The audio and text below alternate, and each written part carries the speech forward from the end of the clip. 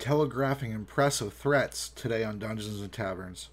Hi, I'm Solsunforge. I've been a DM for 20 years, and on this channel, it's my intention to go ahead and provide that experience to you as a player or as somebody who makes your sessions daily or weekly. I provide Dungeons and Dragons specific as well as system agnostic hints and tips in order to help you up your play experience.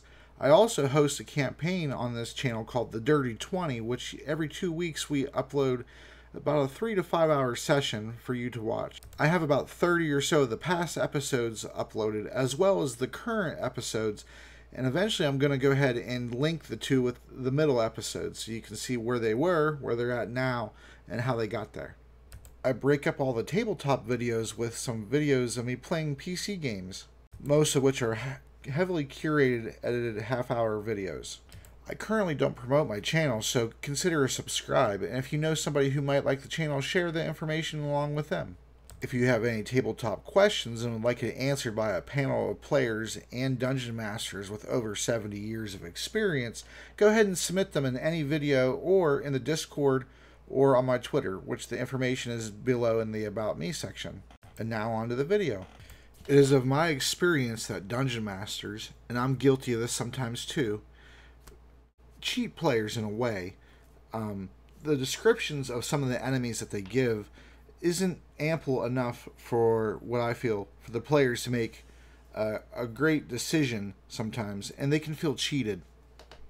You know, if an enemy is very colossally large, you know, allow the players to see that enemy from further away, um, you know, to accentuate the size of the enemy. You know, if the enemy, for instance, is a dragon or something like that, of that size or larger, you know, describe it poking out through the trees so the party gets an ample idea in their head on actually how massive the enemy that they're fighting is going to be.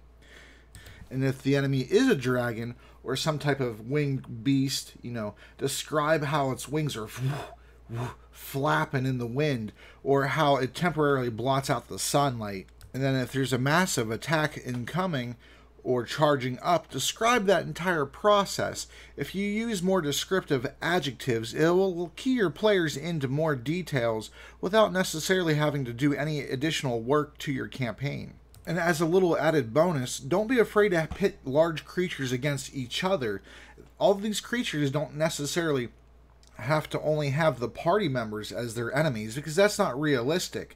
So maybe when the party's for instance doing world travel or in a dungeon, you can have you can have conflicts going on already that the party isn't even part of necessarily, but they it potentially could become part of that. And I'll, I'll give you a few more. Uh, any type of giant, you know, describe its plodding footsteps, you know, its booming voice Maybe for a tiny little fairy, you, you describe it more delicately. You know, the, the beating of its wings, you know, uh, the humming of a tune. For elementals, you can describe the insane maelstrom of elements broiling around, composing their body, their footsteps leaving little footprints of whatever element they're made of. But just like deadly encounter after deadly encounter, you don't want to stack these impressive adjectives over and over and over because then the players will tune out. But if you add them in occasionally, then the players are more prone to listen in on what's going on. The more impressive the enemy, the more adjectives you should use in order for the players to be able to gauge uh, the strength level of these enemies based on just your words alone.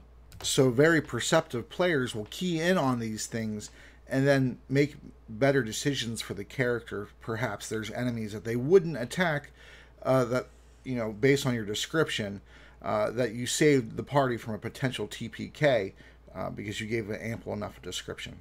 Well, it's a short video. That's all I got for you for today. Uh, the videos are going to start coming back a little bit more normal. I had car problems. Uh, right now, it's in the shop. The engine uh, failed while I was door dashing and uh, fix, you know, put a lot of money into it and things like that. But uh, you know, once that problem wraps up, then you'll start seeing me back to normal pace. So I'm still I'm still working on Resnium in the background. You know, I'll get it together. You know, a playtest group here soon. and then I'll demonstrate it all for everybody uh, before it's even up for any type of crowdfunding or purchase or anything like that. All right. So thank you so much for watching. I appreciate you all. Yep. Have yourselves a great day. Bye. Bye. Oh, Callie said bye too.